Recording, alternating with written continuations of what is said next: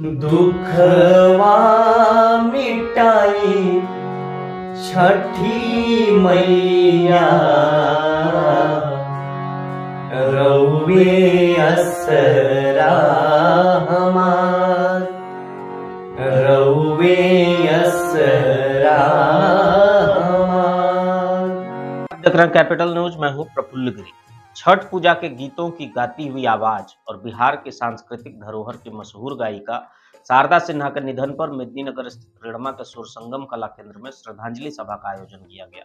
इस कार्यक्रम का आयोजन संगीतज्ञ राम श्याम बंधु ने किया, जिसमें शारदा सिन्हा को विनम्र श्रद्धांजलि अर्पित की गई। सुर संगम कला केंद्र में आयोजित इस सभा में शारदा सिन्हा के योगदान को याद करते हुए राम श्याम बंधु ने कहा कि उनका निधन कला और संगीत की दुनिया के लिए अपूर्णीय क्षति शारदा सिन्हा की आवाज़ ने छठ पूजा के गीतों को न सिर्फ़ लोकप्रिय बनाया, बल्कि उन्हें एक पहचान भी दी। उनके गीतों में विशेष रूप से छठ पूजा के भावनात्मक और सांस्कृतिक तत्वों को अभिव्यक्त किया गया, जिससे करोड़ों लोगों की आस्था और श्रद्धा जुड़ी हुई थी।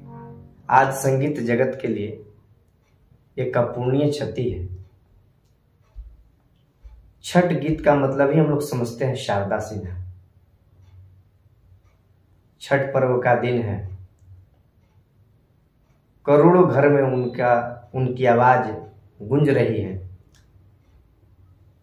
और अपने ही आवाज़ को सुनते सुनते छठी मैया आज अपने चरणों में उनको बुला ली।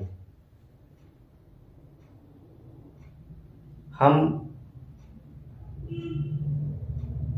पूरे सुर संगम कला केंद्र परिवार की ओर से विनम्र श्रद्धांजलि देते हैं। छठी मैया अपने चरणों में स्थान दें।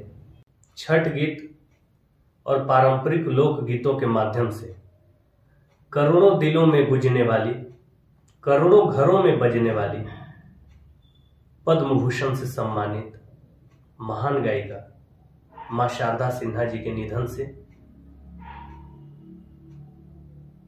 करोड़ों लोग मरमाहत हैं।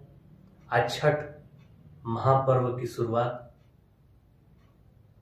खरना का दिन और उनकी ना होने की खबर लोगों को मरमाहत कर दिया। हम दोनों भाई राम श्याम बंधु की ओर से, सुर संगम कला केंद्र की ओर से